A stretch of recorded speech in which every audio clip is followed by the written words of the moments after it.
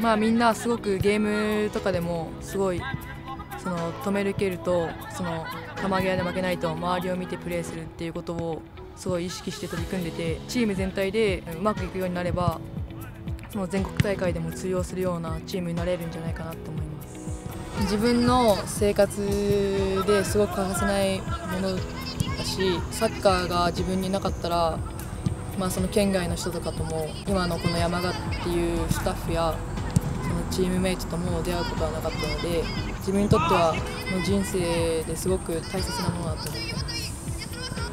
えっと、私たちはまだ、えっと、できてから少ししか経っていないんですけど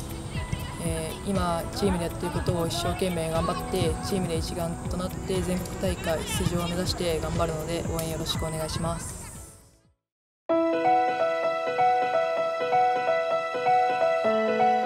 2023年、えー、日本一になるという目標を掲げて、えー、3年越しで、えー、強化をしています。うん。まあ、本当一言で言うともう生きがいですね。ブラインドサッカーをしている時っていうのはできないことが一つ一つできていくっていう実感ができるし自信もついていくし本当ブラインドサッカーと出会えて今はですね目が見えないことが幸せだなと思えるぐらいまでなれたんで本当ブラインドサッカーのおかげですね、え、松本山雅 BFC は去年から、え、発足して松本から世界へ選手を送り出す。そんな素敵な夢を皆さんと叶えていきたいので